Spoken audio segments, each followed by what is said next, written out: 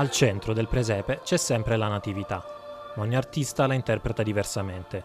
C'è il bambinello immerso nell'acquario, c'è la grotta davanti a una discarica, c'è il presepe sardo. Nei 20 anni della nostra attività ogni anno abbiamo cercato e abbiamo richiesto agli artisti che venivano e vengono a Città di Castello di portare sempre un'opera inedita.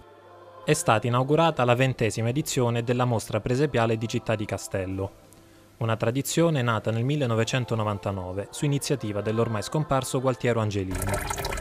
Giochi d'acqua e di luce accompagnano i curiosi che rendono omaggio alla Sacra Famiglia. Movimenti meccanici animano la scena.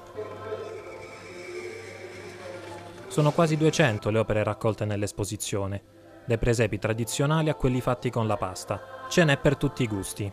I visitatori rimangono veramente colpiti e la soddisfazione più grande per noi come associazione è sentirci dire non avremmo mai pensato di vedere una cosa del genere. E di visitatori la mostra ne accoglie circa 10.000 ogni anno, quasi la metà provenienti da fuori regione.